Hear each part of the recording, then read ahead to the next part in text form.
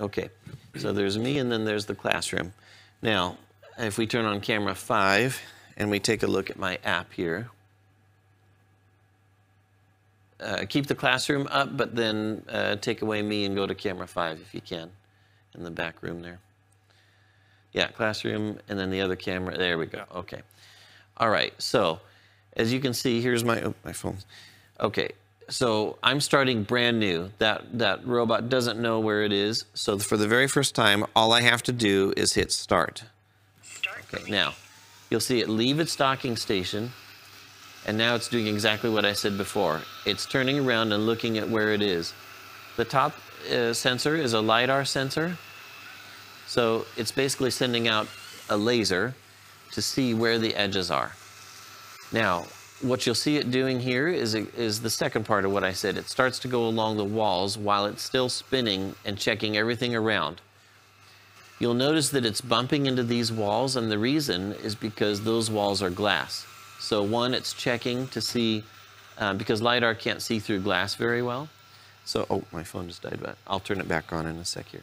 LiDAR can't see through glass very well, so it's using the bump just to make sure that um, it is glass or it is a wall. And now it's starting to build the map, so I will turn on my phone that went to sleep here. Now, if you take a look uh, back on the camera five and keep the classroom up. Okay, so now my phone was blank before it was empty, so you can see how quickly it started to build a map of this room. Very quickly, actually. I mean, that I think that's under 30 seconds. So now it's hard to see on the camera. I'm not sure if you can zoom in or how clear you can get on that. But if you look at the map, you'll actually start to see the desks that it sees, and you'll see the path that it's following as it still continues to build. Now, its vacuum is not on right now. All it's doing is looking around at its space. Once it has this space, it will remember that space, and you can, of course, name it. Then there's some other things that you want to do as well. So this classroom has an open door in it. Um, and sometimes that door is open and sometimes it's closed. Oh, it sees the camera now. sometimes it's open and sometimes it's closed. So in the case of it being open, you certainly don't want it going out of the room. And in the old days, we used to have to um, put little laser blockers up so that it couldn't go through that space. But now what we can do is once it's completed its map, we can actually block that space and it will remember that block um, so that it won't go out of the room, okay? It will notify the operator of, of everything that's going on. Uh, if there's anything, an obstacle it encounters, if it's going to run out of batteries, if the, um, uh, the recovery tray is, is full, if the filter is blocked, all those things are on the machine and it will tell you that as the operator. It has three different power levels that auto adjust. So um, it has a what we call quiet mode, standard mode, and then a boosted mode.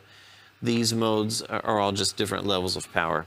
If it starts to go up on low pile carpet, of course, it will increase its suction to try to get deeper clean on the carpet, and then it will reduce its suction if it's on harder surfaces.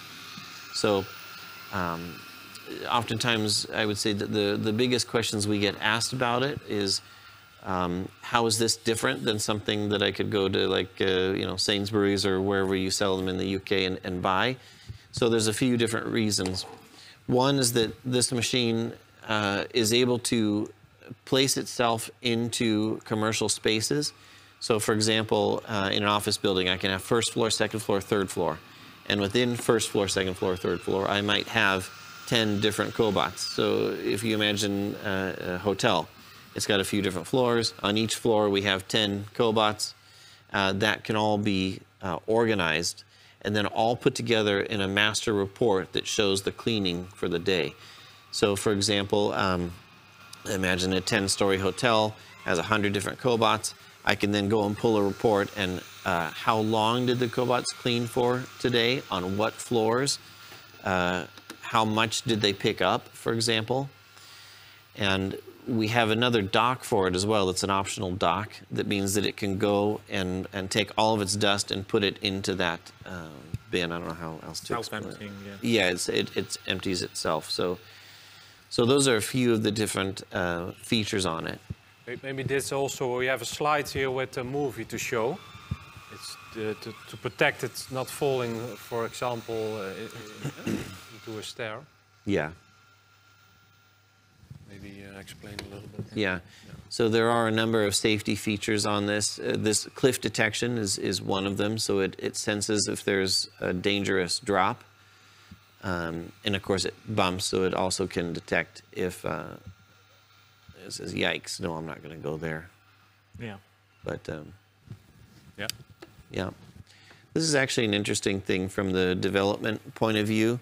When we work on our larger cobots, you have to be very careful about weight balancing because even if you detect the the edge of something, Yeah, if, yeah, if all your weight is in the front where your detectors are, it will fall off the stairs anyways. so So we don't want that. yeah, so it's something that we've had to learn um, on our development path. So, uh, and there's a lot of things in the works uh, right